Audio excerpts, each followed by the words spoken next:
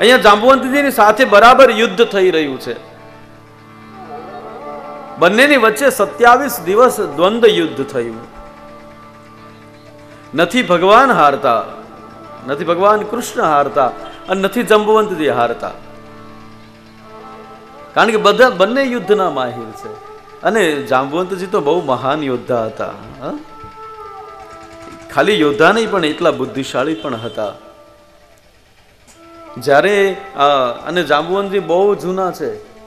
એટલા બધા જૂના છે, આપણી કલ્પનાથી પણ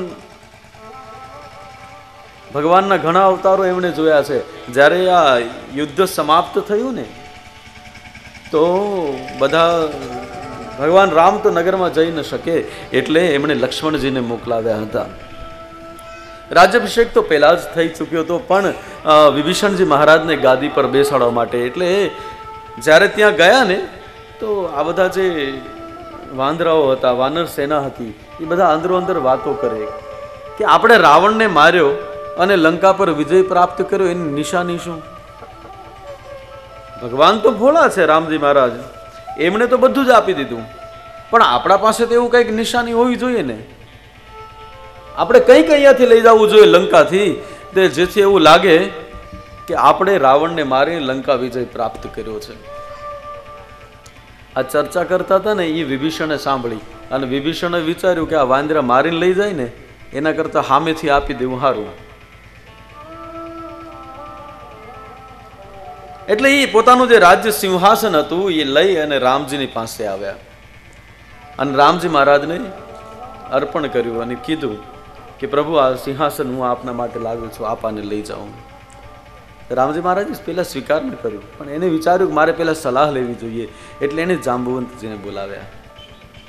જાંબુવંતજીને બોલાવીને કીધું કે મહારાજ, આ વિભીષણજી આપણા માટે સિંહાસન લઈ આવ્યા છે, શું આપણે એને સ્વીકારવું જોઈએ? અને ત્યારે જાંબુવંતજી બોલ્યા છે કે ભગવાન રામજી, આ દરિયો જ્યારે મીઠો હતો, ઈ મેં જોયો છે. આ પર્વતોને પાંખો હતી, એ ઉડતા હતા. એ મેં જોયું છે. તમે વામનમાંથી વિરાટ થયા, ત્યારે મેં તમારી સાત પ્રદક્ષિણાઓ પણ કરી છે. અને આ રામ અવતારમાં ચરાચર વનની અંદર પણ હું તમારી હારે રહ્યો છું. આ બધું જ મેં મારી નજરથી જોયું છે. સમુદ્રને મીઠો જોયો, પર્વતોને ઉડતા જોયા છે.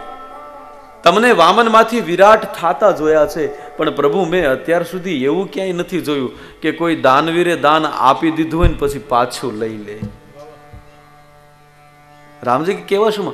બોલે, મહારાજ, આપણે રાવણને માર્યા પહેલા જ વિભીષણનો રાજ્યાભિષેક કરી દીધો છે. લંકાનો મુકટ એના માથે પહેરાવી દીધો છે. તો સિંહાસન એ રાજ્યની અંદર જ આવે, એ કઈ રાવણ બહાર થોડો રાખતો હતો આપણાથી લેવાય નહીં. આવા બુદ્ધિશાળી અને યુદ્ધમાં એટલું કૌશલ કે યુદ્ધમાં જ્યારે રાવણ મરાણો યુદ્ધ પૂરું થયું અને ત્યારે એને જાંબુવનજી આવીને ભગવાનને કહે છે કે, ભગવાન, મને કોઈ યોદ્ધો જ ન જડ્યો મારા લાયક, જેની યારે હું લડી શકું. ભગવાન રામ કે, મર્યાદા પુરુષોત્તમ છું, તઈ હું, નહીં તો અત્યારે તને. પણ એ રામ અવતારમાં ભગવાને, રામજી મહારાજે, જાંબુવનજીને કીધું હતું સારું કઈ નહીં, યુગે યુગે મળી રહેશે. તમારી ઈચ્છા પણ પૂર્ણ થશે. આજે એ જ જાંબવંતજીની ઈચ્છા ભગવાન પૂર્ણ કરે છે. બાકી ભગવાન ક્યારે ભક્તની સાથે લડે જ નહીં. સત્યાવીસ સત્યાવીસ દિવસ દ્વંદ કરે છે, છતાં ભગવાનના ભક્ત થાકતા નથી. ભગવાનને એમ થયું કે હવે જાંબુવંતજીને બહુ એટલે પોતાનું આંતરિય વસ્ત્ર દૂર કર્યું. અને જાંબુવંતજી મહારાજે ભૃગુલાંચન જોયું. એ ભૃગુલાંચન જોયું એટલે તરત જાંબુવંતજીના હાથ અટકી ગયા. દ્વંદ અટકી ગયું. જે હાથ દ્વંદ કરવા માટે, યુદ્ધ કરવા માટે હતા, એ બંને હાથ ભેગા થયા અને ભગવાનની સ્તુતિ કરવા લાગ્યા. અને જાંબુવંતજી કહેવા લાગ્યા કે, ભગવાન, કેવું તો હતું ને કે હું આવ્યો છું? કે કે કેવી રીતના? તારી ઈચ્છા હતી ને? યુદ્ધ જોઈએ છે, યોદ્ધો નથી જડતો. મંડી પડ્યો તો કે, ત્યારે રામ હતો. આજે કૃષ્ણ છું. આજે જેને જે જોવે એ આપી શકું. હું રામ બનીને આવું તો મારે મર્યાદામાં જ આપવું પડે કે. પણ જાંબુનજીએ બહુ સરસ વાત કીધી, ભલે તમે ભલે કૃષ્ણ બનીને આવ્યા છો, પણ મારી પ્રીતિ સારંગ પાણીમાં છે. જેના હાથમાં સારંગ હોય અને જે વેદની જેમ જીવતા હોય, મારી પ્રીતિ તો એમાં જ છે. તમે ભલે ચક્ર પાણી છો, ચક્રધારી છો, પણ મને આ ન ફાવે. એ તો સાચી વાત છે. બોલો જાંબુવંતજી શું જોવે છે? કાંઈ નહીં, એક જ વસ્તુ જોવે શું બોલે, એક ક્ષણ માટેથી આ ચક્ર છોડીને પાછું સારંગ હાથમાં લ્યો. શું? બોલે, હા, મારા માટે.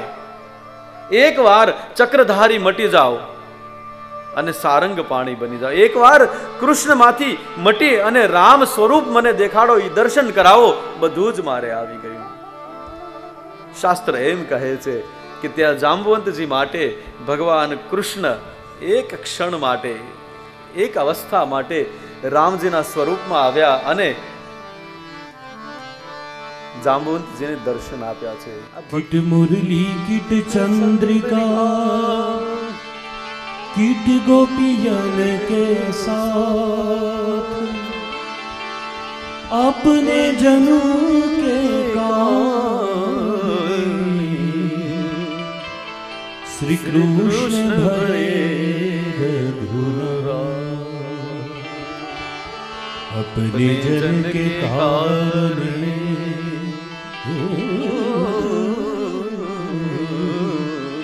श्री कृष्ण भरे रघुरा શું પ્રીતિ હશે આ ભક્તની કે જેના માટે ભગવાને ચક્ર છોડ્યું અને સારંગ હાથ ભગવાનના ભક્ત એના પાસે શું ન કરાવે